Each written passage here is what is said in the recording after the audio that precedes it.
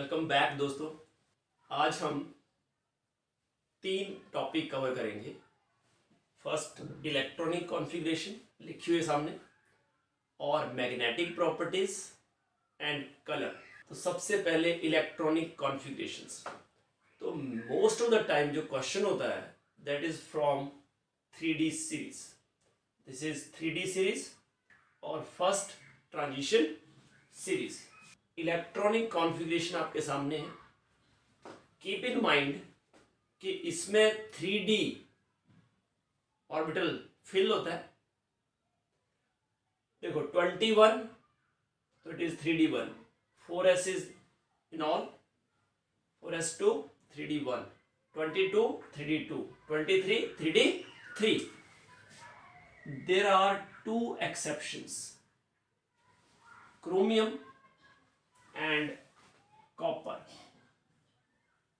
ये दो एक्सेप्शंस आपको याद रखनी। है बाकी सारे एटॉमिक नंबर याद है तो इलेक्ट्रॉनिक कॉन्फ़िगरेशन आप इजीली लिख सकते हो। क्योंकि 21 3d1 22 3d2 23 3d3 25 3d5 26 3d6 27 3d7 28 3d8 and 30 3d10 तो फ़र्स्ट क्वेश्चन ये बनता है कि why chromium and copper has exceptional electronic configuration ये अपवाद क्यों है? क्योंकि क्रोमियम और कॉपर में इस केस में एक इलेक्ट्रॉन अगर फोर से शिफ्ट होता है, होना के लिए four S two three D four but अगर 4s1 3d 5 हो जाता है तो d ऑर्बिटल जो है that is exactly half fit तो because of extra stability of exactly half fit electronic configuration one of the electron shift from four S to 3d and that's why chromium has exceptional electronic configuration in copper it has d10 configuration fully filled d orbital and fully filled electronic configuration it has extra stability अगर question आता है why chromium and copper has exceptional electronic configuration तो आप लिखोगे because in chromium it has exactly half filled electronic configuration exactly half filled d orbital और copper में it has fully filled d orbital and that has extra stability. That's why they have exceptional electronic configuration, right? तो ये आपको learn करना है। पहला तो काम ये है आपका। उसके बाद आ जाते हैं। अगर आए कि electronic configuration of ions take an example आपको पूछ लिया M N two plus M N two plus की पहले इलेक्ट्रॉनिक कॉन्फ़िगरेशन क्या होगी? तो याद रखना, इसके आगे क्या है? इसके आगे तो आर्गन होगा, सबके आगे। Four S two three D five तो बताओ, दो इलेक्ट्रॉन कहाँ से रिमूव होंगे? तो दो इलेक्ट्रॉन जो रिमूव होंगे, याद रखना that is always remove from higher shell number कहाँ से रिमूव होंगे? जिसका एंड हायर होगा। तो थ्री और फोर तो थ्री और फोर में कौन सा वैल्यू ज़्यादा है? फोर तो electron are remove from four four S so चाहे फोर एस पहले भर रहा है बट क्योंकि हायर शेल नंबर है, इसलिए इलेक्ट्रॉन हमेशा ही फोर एस से रिमूव होगा। तो इसकी इलेक्ट्रॉनिक कॉन्फ़िगरेशन हो जाएगी थ्री डे फाइव चलो एफ़ थ्री प्लस। बोलिए।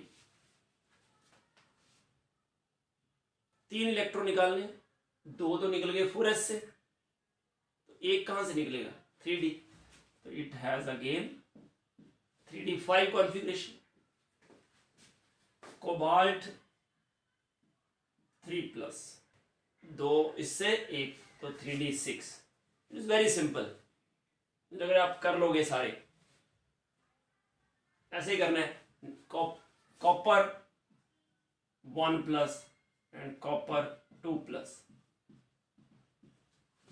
बोलो। कॉपर वन प्लस में फोर एस से एक इलेक्ट्रॉन निकल गया। Three D ten. जितना पॉजिटिव चार्ज है, उतने इलेक्ट्रॉन रिमूव करने आपको। वन प्लस है तो वन इलेक्ट्रॉन रिमूव करो। टू प्लस है तो टू इलेक्ट्रॉन रिमूव करो। तो दो इलेक्ट्रॉन रिमूव करोगे तो कितना हो जाएगा?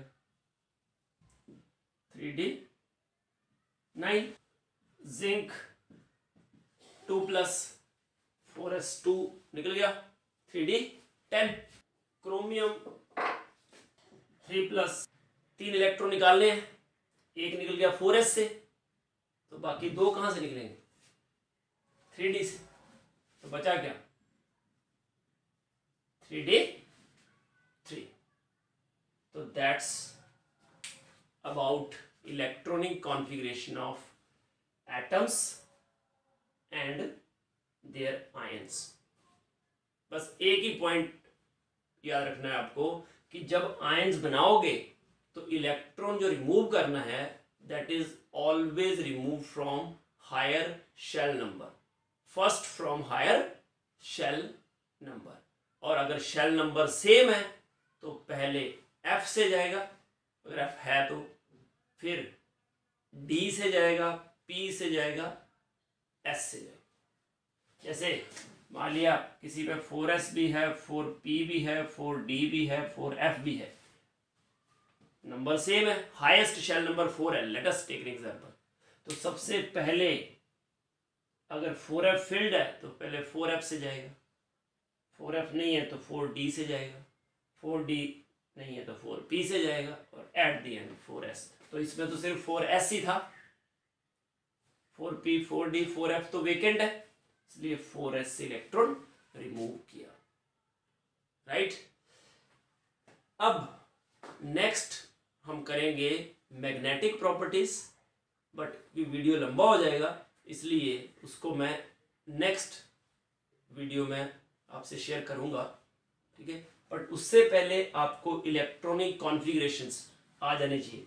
क्योंकि अगर इलेक्ट्रॉनिक कॉन्फ़िगरेशन आपको आती होंगी तो बिल्कुल आपके लिए इजी हो जाएगा मैग्नेटिक प्रॉपर्टीज़ को आइडेंटिफाई करना। डू लर्न इलेक्ट्रॉनिक कॉन्फ़िगरेशंस क्योंकि it is backbone of D block elements अगर आपको ये आती होंगी इलेक्ट्रॉनिक कॉन्फ़िगरेशंस तो आपका half of the job is done. Right? Okay. All the best.